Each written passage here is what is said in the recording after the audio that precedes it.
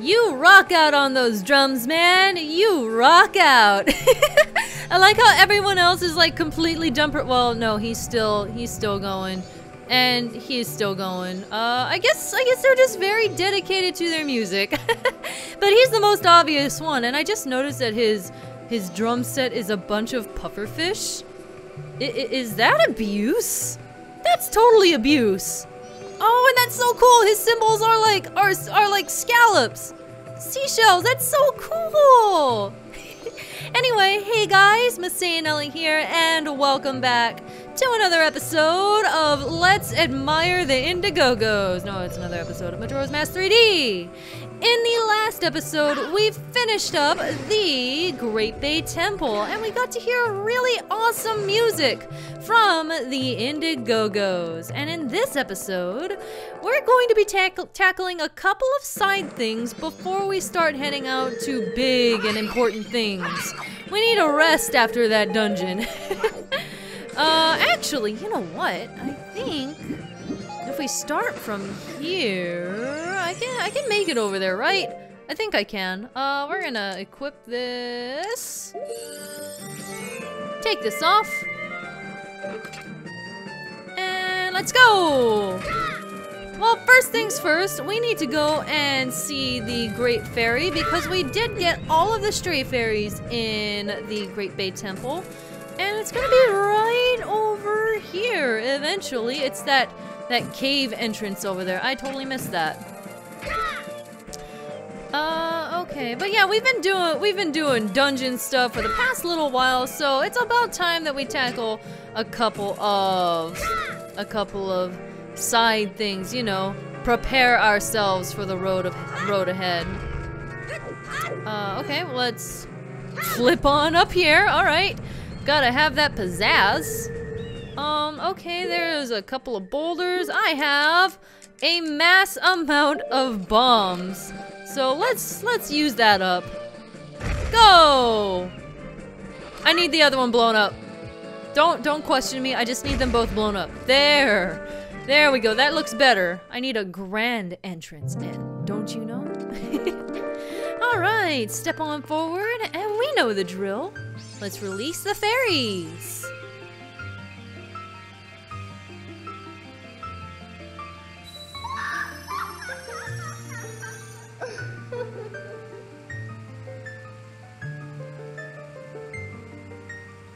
Courageous young one, I am the Great Fairy of Courage.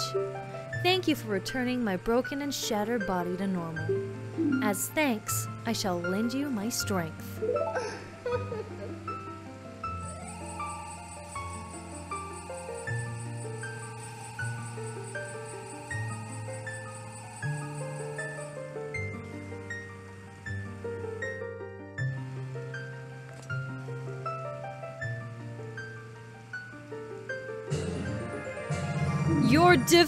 Defense has been strengthened. Enemies now do half as much damage as before. You thought we were tanky before? Oh boy, that just got twice as good.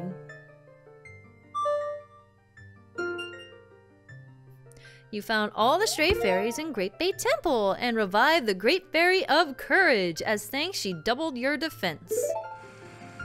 Come see me whenever you are overcome by weariness.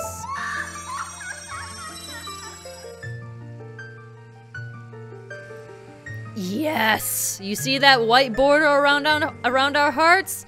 That means each one is essentially worth double. So right now, compared to, what, like 10 seconds ago, we're packing like... Like, how many how many hearts would that be? Like 26 hearts, technically?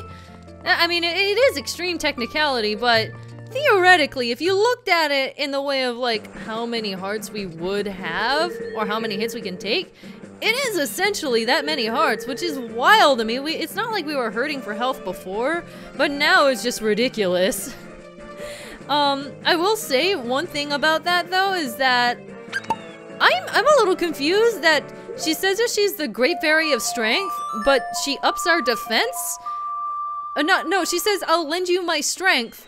She's the Great Fairy of Courage, and she ups our defense. That seems a little bit all over the place, but whatever floats your boat, lady. I'm not gonna complain about more hearts. Dun dun dun dun dun dun. Yeah, we have the regular old Termina Field theme in this area now, so we can hop in the water and go. And I'm surprised that we still have like likes out, by the way. I figured with, you know, the whole cleansing the ocean thing and making everything good that the like likes would be a thing of the past, or maybe they're just indigenous. They're they're they're kind of they're kind of buttholes though because they keep stealing or trying to steal our stuff. But still, I don't know. I I, I kind of figured that big baddies like this would be would be gone by now. Well, I'm going to go onto this abandoned ship. This was not here before. The Fisherman's Jumping Game. Please ride the boat to the Fisherman's Island to inquire about about about bleh playing. So he's all the way over there. We gotta we gotta take this slow boat. It has to go in a circle around it. It can't it can't just swim right on up to that up to that tree. Oh no, it can't. swim? Do boats swim? Uh, boats don't exactly swim, but it's floating. It's floating. Eventually. One of these days. Yep, Here we go. Done. So this is a minigame, and he's outside, and wow, I never realized how big he actually is. This guy's freaking huge. Now that the seas are back to normal, I've started a little business aimed at tourists. You didn't choose a very accessible place, man. If you pay 20 rupees, I'll show you a jumping game that is a really big prize. If you're up for it, go to the island in the center. Alright. So, the aim of the game... Oh, he's gonna explain it anyway. uh, I'm gonna light the torches on each of the surrounding four islands in a particular order. Jump to the island that has the lit torch. If you can jump to it before the torch goes out, you'll get one point. Uh, so we need to shoot for 20 points. 20 or more. It's not a terribly difficult game. If you land in the water, you automatically lose, so be careful. Uh, wait! Well, that, that sucked. Okay, I think I need to adjust my cam- There we go! Uh, once again taking advantage of the L target thing resetting the camera. Because if you touch the C-stick here as well, then it's going to assume that you want to control the camera the entire time. It's the same deal as the beaver race, so hitting L will reset it, and this is much easier than trying to adjust it yourself. Um, if you have a hard time with this, I would assume that's- uh, No! Well, I thought I was good at this. What happened? No, it's not harder than it seems. I've done this before, man! I just screwed up. That shouldn't have counted. It was a practice run.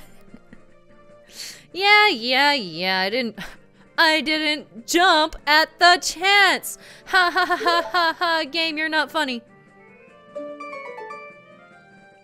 Uh, oh, we only added his, his journal entry now? Really? Uh, once the ocean is back to normal, his place will open for business. Uh, alright, okay, let's try this again, please. One, two, there we go, yes. Bloody, bloody, blah. 17. 18. Whoops, that's the wrong one. 19. And 20! We have already won. I could just sit on my butt if I wanted to at this point, but I want to see how high I can get. Uh, yeah, as I was saying, if you have a hard time distinguishing the fire, it can be a little bit easier when it gets dark. I think you can play this game when it gets when it gets darker. I believe you can, at least in kind of like the midday when the sun starts going down, because then the the glow of the fire is a little bit more visible.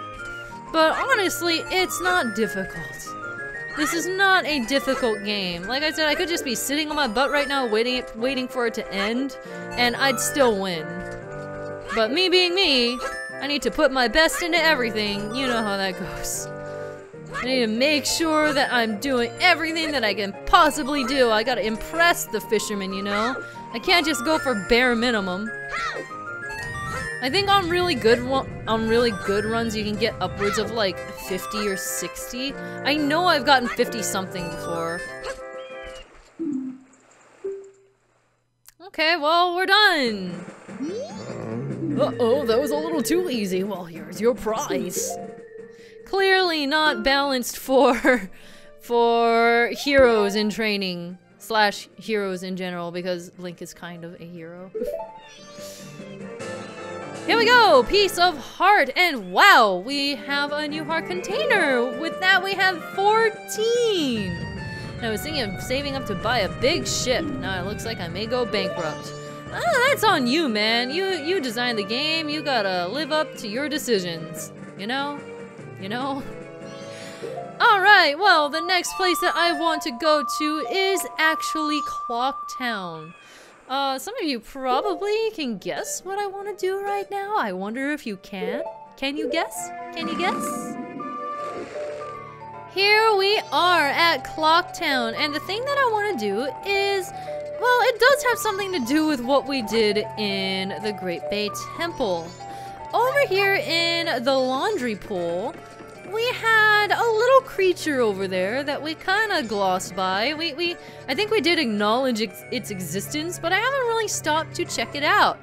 This is one of the frogs that we need. So we're gonna pop on, which one should I get rid of? This one. We're gonna pop on our Don Gero mask and see what he wants. Ah, oh, Don Gero, it has been so long. What has brought you all this way? Could it be you came all this way looking for me? Ah, you need not say to uh, said a thing. Say a thing. Upon seeing that face, I understand. I see, but I had heard it, that it was still winter in the mountains. When spring comes, I shall definitely go to the mountains. So let us meet again.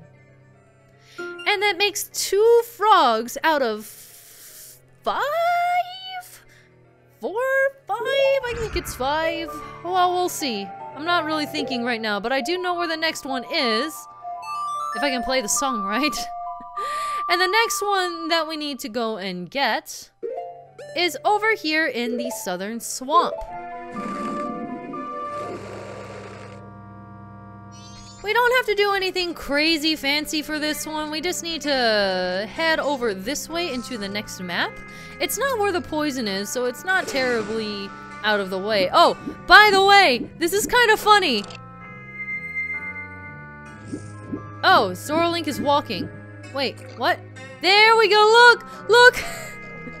he can just walk through. It's just up to his chest. Wait, I'm curious if I can actually swim through here though, because he he was swimming. He was swimming. Look at look at him swim. Oh man, oh man, look at this! I can speed right on through. Okay, well this is a thing that you can do. But as as soon as soon as you hit B, then it makes him not not swim anymore. Wow, that's one way to do it. Yeah, we totally can't swim if we if we dive down. Well, there you go. Pro tip. Uh, now I need to talk to you. I like this one! This one's blue, I like this one, it's so cute! Uh, Don Gero, it has been so long. What has brought you all this way? Could it be you came all this way looking for me? Ah, you need not say a thing, etc, etc, etc, etc, etc, etc, etc, etc, etc, yes. Third frog! Hmm, moving right along then. Uh, the next frog is in a similar location, but not quite. It is in this general area of the game, but this time we're heading to Woodfall, specifically the temple.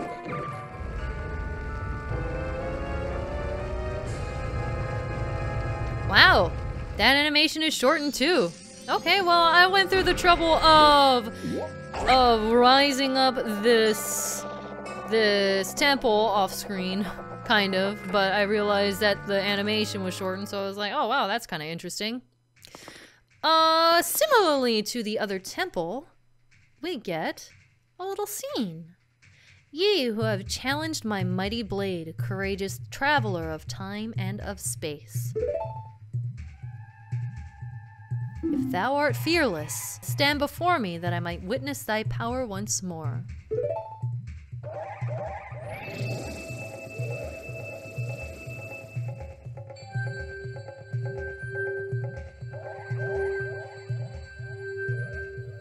Yeah, we can just go straight to Odolwa if we want. like I said, every every temple will be able to do that. Like, you go in and it'll be like, oh yes, you courageous child. You can do the things and collect this fairy and fight the temple boss if you want. It's just a convenient thing if you need to make things changed or fix the area for any specific side quests. But we've already done this temple before, so I will just speed things along so that you guys can see exactly where the frog is.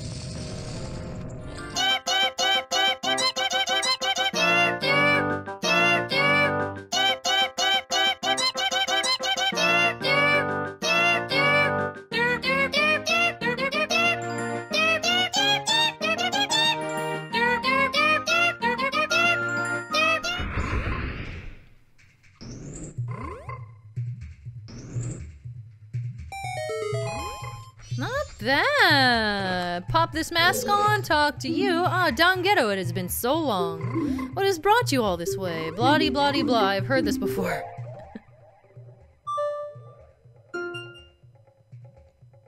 and we've used Don Gero's mask to recruit the frog in Woodfall now. Well, we don't need anything else here. We obviously don't need the boss key.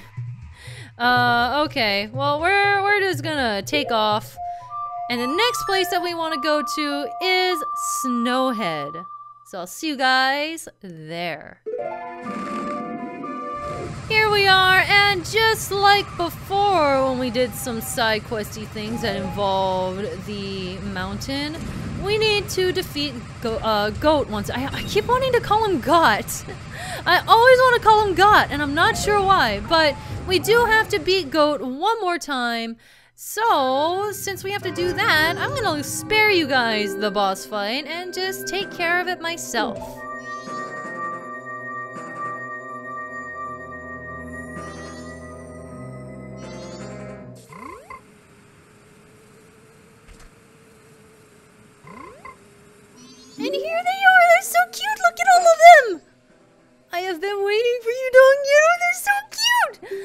Frogs. Forgive me if I'm mistaken, but it looks like you've lost a little weight.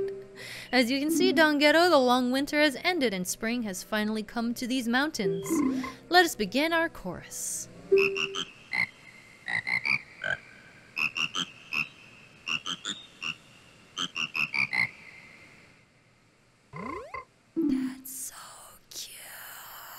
Cute! This is how we how this is how deeply we were moved by your spectacular conducting.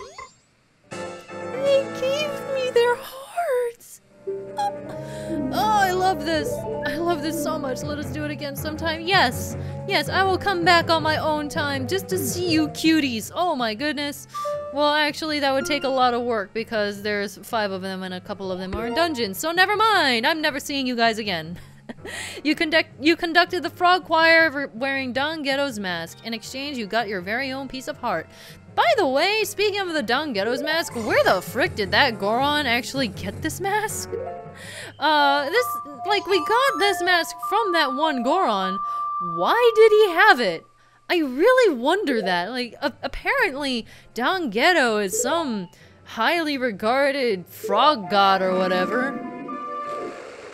So, like, seriously, how did he get it? That's so weird to me. well, now that we're here in Clock Town, we do have one more thing to wrap up this cycle. Look at that sky. That's such a cool sky. It's so neat. Oh, that red. It's so creepy. Clearly, the end of the world is nigh. Well, let's head down here, and the place that we want to go is the Curiosity Shop. And I'm too poor, so hang on, let me go buy some, uh, not buy some stuff, but, uh, harass the banker. Wait, did we get this block of text before? I don't think we did. That's funny. Look, little guy, if it's because of the bad rumors going around, forget it. They're just rumors. Um, wow, that that's kind of, that's kind of a weird block of text. Okay. It caught me off guard when I was when I was withdrawing all these rupees. Well, we certainly don't have many rupees to go around anymore. It's lowering by the day. Uh, wow, that's an obnoxious sound effect. Okay. 500 rupees. We are getting something very specific, and yes, we did need the giant wallet for this. Otherwise, we'd only be able to carry 200, and we wouldn't be able to do this at all. So 500 is exactly what we need, and it needs to be 10 p.m., so hang on a bit. Okay, let's go on in and claim our prize. Hello! Hello, you are a shady person. Welcome. You gotta look around. I'm doing a special sale. Check it out. Tonight's bargain is the all-night mask for use at bedtime. Uh, I don't think that looks like a bedtime mask. I forget when this was made, but it sure is a freaky mask, see? When you put it on, you can try to- you can try and try and try to fall asleep, blah, but you won't be able to. Pretty creepy, huh? Well, let's check out that bargain. Yeah, it's horrifying. This is one of the creepiest masks. You got the all-night mask. Apparently this mask won't let you drift off to sleep even if you want to.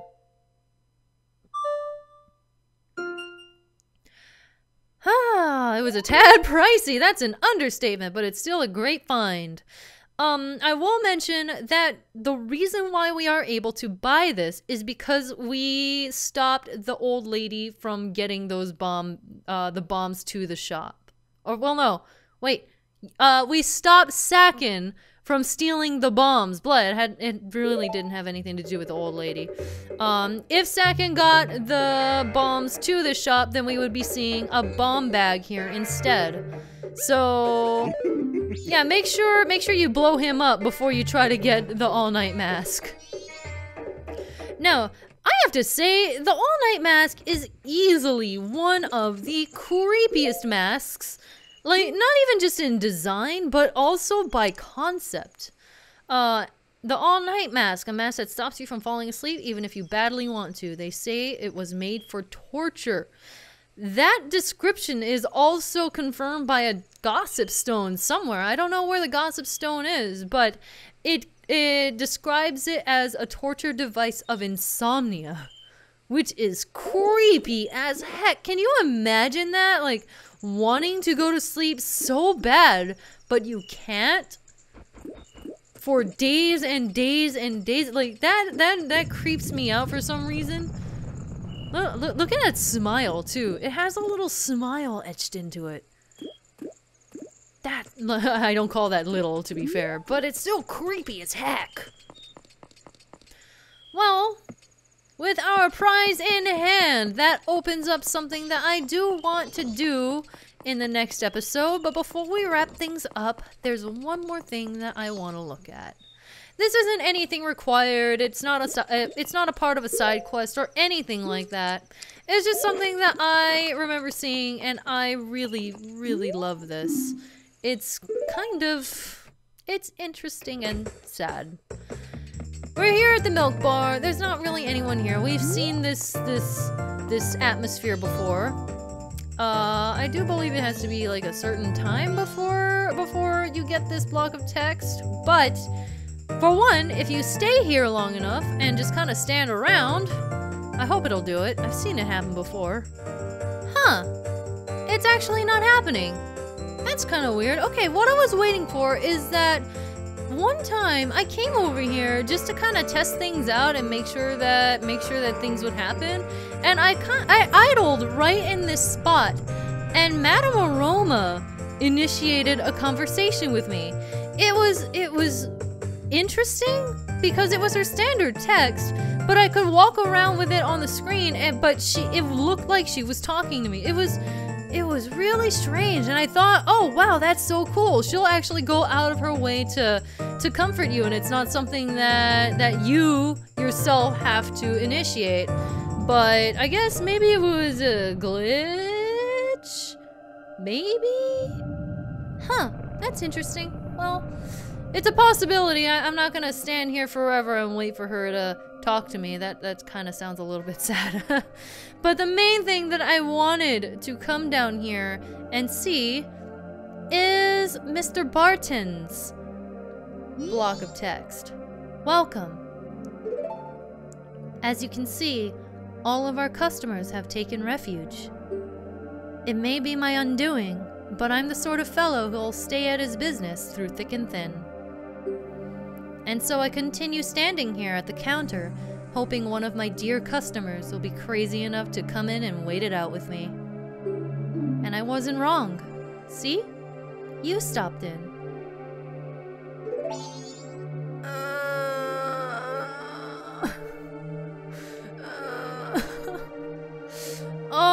My heart. My heart. That I when I saw that for the first time, my heart just wrenched.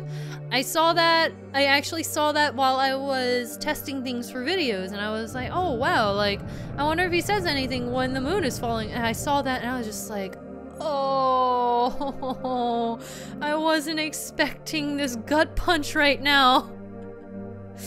Um I I did try to get get that get that conversation earlier in the series, but for some reason it wasn't working. I think it has to be late enough in the day, but it's just one of those heartwarming and heart-wrenching touches that that just wrenches me from the inside. Oh, it's so sad. This is another one of those things where I will definitely say that the world of Termina just feels so alive. Everyone has their own attitude, their own goals, their own their own thoughts about the world the world ending and their own individual reactions to it. Him, he's like super calm about it. He's like he he's at his station still working and he, he's sticking through it. Yet everything's gonna die. Uh, no, another one that does happen is that if you talk to the guard, he says if you believe that the moon is truly if you believe that the moon truly is falling, you'd best leave town immediately. Those who remain in town either don't believe the rumors or have given up all hope. It pains my heart to see children still playing in the streets because they have no idea what's going on.